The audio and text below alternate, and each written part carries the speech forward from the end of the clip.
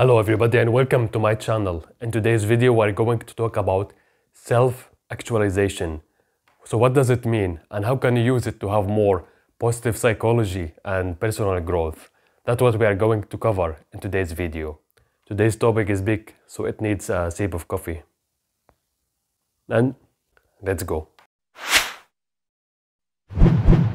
Self-actualization is a term created by the big teacher of positive psychology, Abraham Maslow, and it represents the highest level of psychological development, where personal potentials are fully realized after all basic needs, physiological needs, and ego-based needs are fulfilled. In short, means becoming everything the one is capable of becoming after realizing his full and true potentials. 1943, Abraham Maslow has published the hierarchy of needs pyramid. In this pyramid, he has uh, assigned all the human needs into categories.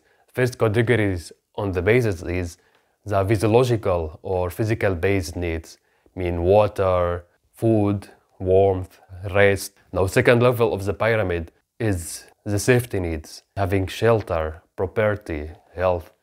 Then after that is belongings and community needs, meaning that having a community around you that you belong to, tribe, friends, relationship, sexual intimacy. The next level is self-esteem needs, the need to feel appreciated, the need to feel respected, the deep sense of self. And last needs are self-actualization needs, the need for personal growth, the need to realizing the potential and taking action from them the need to realizing everyone's talents and gifts and sharing the gifts and talent with the world as a life purpose. Now, self-actualization is not a luxury. It's not something nice to have. It's a need. It's a human need to realize your full potential and what you are capable of doing and doing so. It's like vitamins. Vitamins are part of physiological needs. Now, the lack of vitamins with the time, this will create health issues and diseases. Same with self-actualization if you are not pushing yourself to your boundaries, if you are not setting goals and achieving them and moving to another level, then it will have also psychological impact. A lot of people settle for less what they deserve, settle for less of what they are capable of doing, and then all of a sudden they will start feeling routine about their life, feeling very bored, unfulfilled, unsatisfied, this feeling of confusion, like lost. I don't know what do I want to do in life and all this stuff. Because a lot of people focus on fulfilling the lower needs, the physical needs and ego-based needs, and then they totally ignore or forget about fulfilling the self-actualization needs, which is pushing yourself and achieving more, the harder. Mainly due to social conditioning. As Albert Einstein says, the intuitive mind is a sacred gift and the rational mind is a faithful servant. We have created a community that honors the servant and has forgotten the gift. When you are putting goals to yourself that seem out of reach, then your rational mind will say that you can't do it and it's you are only dreaming. Then you will shut down all your capabilities and potential and you will prevent yourself from having personal growth. Therefore, this need of self-actualization won't be filled. What blocks most people from reaching this level of self-actualization? Actually, main reasons are traumas and crises that you experience in your life plus social conditioning.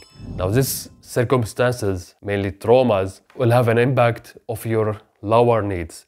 Remember, if you don't fulfill your lower needs, you can't reach that level of fulfilling your higher needs, which is self-actualization. For example, what happened when someone experienced a lot of bad social conditioning and traumas?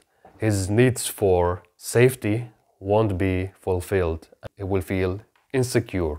The need for self-esteem won't be fulfilled and he will feel unworthy. The need for belongings and community won't be filled. He will be feeling unloved. And also second most important is social conditioning, and this paradigm of society around us. Since we were born, since we were raised, we have this program in our mind from the whole society around us. Go to school, get high grades so that you can get good job, and then your whole life will be dedicated to get high grade at school, and you will get punishment from teachers and parents if you don't get high grades. In order to what? To get the job. Then you will get this job, you will work all your time from 9 to 5, You'll come back at home very tired and you want to rest and then you will rest. You will have to sleep early to wake up early for the job next day and keep continuous like that.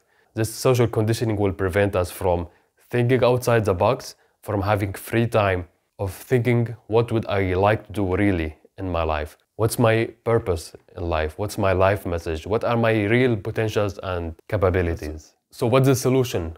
That's what we will cover in next videos because I will make two other videos to talk about what are the characteristics that you will have when you start your self-actualization and how to start working towards that journey. Important topic we are covering in this series of self-actualization so that you can have more personal growth and positive psychology and you will start working towards something I would like to call it creating your best version.